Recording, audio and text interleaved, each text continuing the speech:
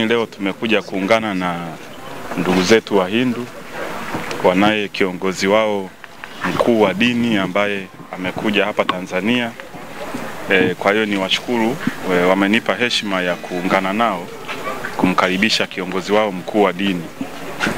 E, kama mnavyofahamu e, wote ni waamini e, na tunakubaliana kwamba Mungu ni mmoja, lakini njia za kumfikia zinatofautiana.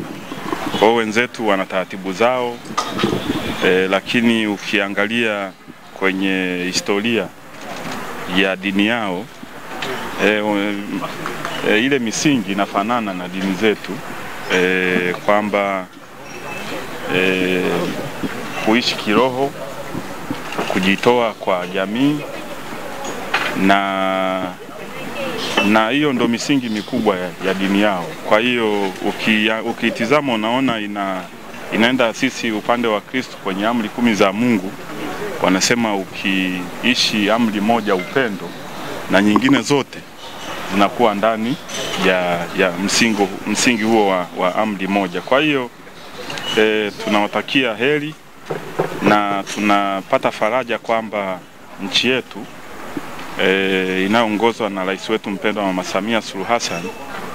E, cha kwanza ni nchi ambayo dunia inajivunia kufika hapa na kujisikia wako nyumbani, lakini vile vile jumuiya hii kama mnavyojua, e, kwenye upande wa uwekezaji, biashara na wametoa mchango mkubwa e, kwa hiyo mimi nafurahi kwamba wanazidi kutumia jumuiya yao e, kuungana na vipaumbele vya serikali kukuza biashara, kuvutia uwekezaji.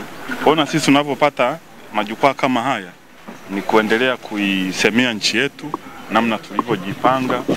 Mheshimiwa Rais amefungua nchi e, tunakaribisha mitaji, tunakaribisha uwekezaji na uwekezaji huo ukifanyika, basi vijana wetu, wakina mama wanapata ajira. Kwa hiyo sisi ndo majukumu yetu, tukipata jukwaa ni kujamani hapa Tanzania E, kazi inaendelea vyema chini ya uongozi wa rais wetu Mama Samia Suluhu Hassan. Wapo wawekezaji ambao wametoka kwenye jumuiya yenu, basi kupitia kwenu mwendelee kuitangaza Tanzania ili watu waje wawekeze, e, wajenge viwanda na tupate ajira.